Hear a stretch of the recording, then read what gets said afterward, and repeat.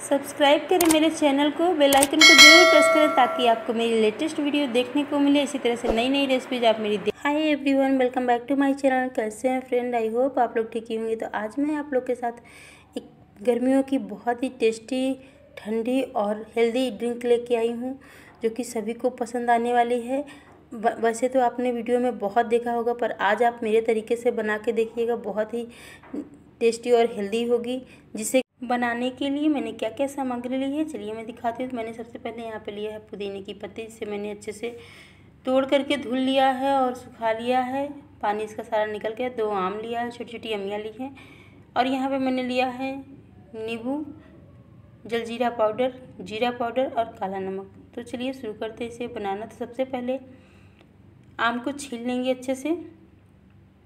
आप मेरे वीडियो में अंत तक बने रहिएगा, तभी आप पूरी ये रेसिपी देख पाएँगे कि हम आपकी मतलब आम पन्ना कैसे बनाएँगे। वैसे तो आप लोग बहुत लोगों ने बनाया है, सभी ने टेस्टी बनाया है।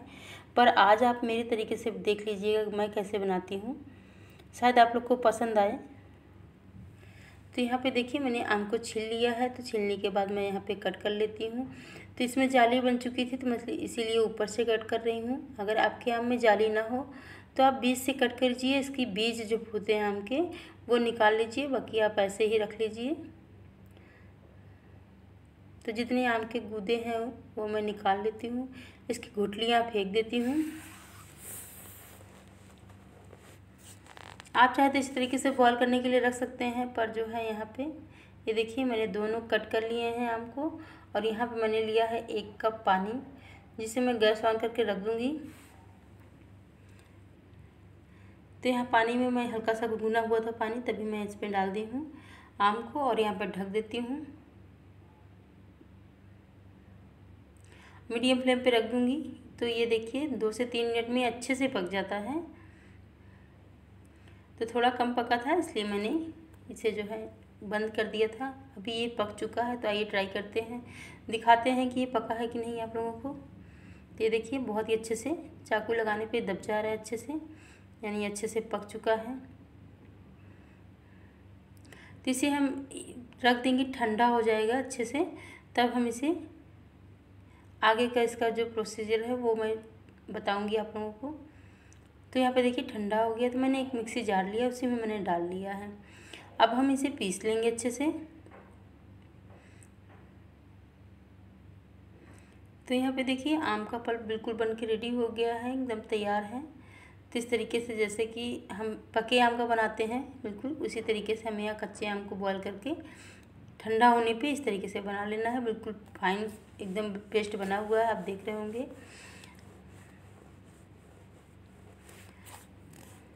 तो यहाँ पे मैंने उसी मिक्सी जार में पुदीने की पत्ती डाल दी है टेस्ट अकॉर्डिंग यहाँ पे नमक, मैंने काला नमक जैसे कि लिया था तो नमक डाल दे रही हूँ।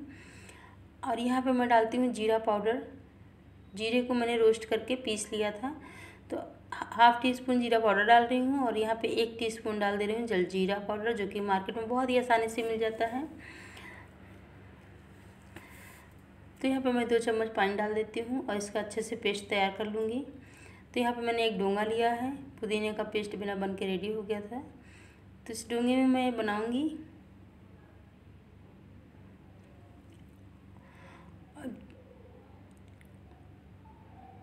इसे मैंने डाल दिया है। अब मैं दिखाती हूँ। ये देखिए, पुदीने के पेस्ट। बहुत ही अच्छे से ये भी बहुत ही फाइन पेस्ट बन के रेडी हुआ है। आप चाहें तो इसे छन्नी से छान सकते हैं, पर मैं छन्नी से नहीं छानूँगी, क्योंकि मैंने बहुत फाइन पेस्ट बनाया। थोड़े थोड़े जो गूदे होते हैं ना, बहुत अच्छे लगते हैं। तो यहाँ पे मैंने इसे डाल दिया। अब मैं मिक्सी जार में जो है थोड़ा सा डालूँगी पानी। और इसे हिलाते हुए अच्छे से सारे जो लगे हुए चीज़ लगे हैं उसमें, वो मैं निकाल लूँगी अच्छे से।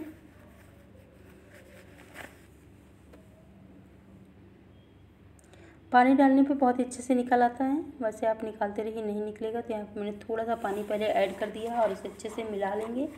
उसके बाद हमने जितना भी इसमें पानी डालना है पतला गाढ़ा जो भी जैसे आपको अच्छा लगे, आप उस तरीके से बना के यहाँ पे रेडी कर सकते हैं। बहुत गाढ़ा वाला मैं नहीं बनाने वाली थोड़ा सा पतला।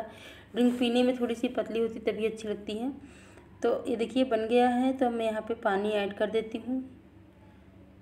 इस जगह पे आपको जितना क्वांटिटी बनानी है, दो, तीन तो जैसे कि मैंने यहाँ पे दो आम लिया है तो मैं यहाँ पे तीन ग्लास तैयार करूँगी। तो तीन ग्लास मैंने पानी डाला है। छोटे छोटे देखिए पल्प है, अगर आप चाहें तो छन्नी से छान सकते हैं, पर मैं नहीं छानूँगी। बहुत ही टेस्टी लगता है, आप इसे ऐसे ही बना के पीजिएगा।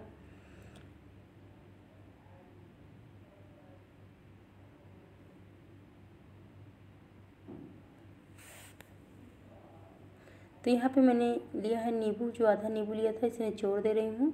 अगर आपका आम जो है खट्टा है तो आप मत निचोड़िएगा, ये आम थोड़ा कम खट्टा था, इसलिए मैंने थोड़ा सा यहाँ पे नींबू भी डाल दिया इससे इसका टेस्ट बहुत ही अच्छा आता है।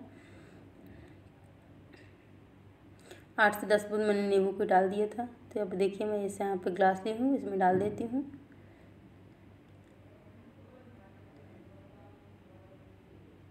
ये गर्मी में पीने में बहुत ही टेस्टी भी होता है और हेल्थ के लिए बहुत ज़्यादा हेल्दी होता है।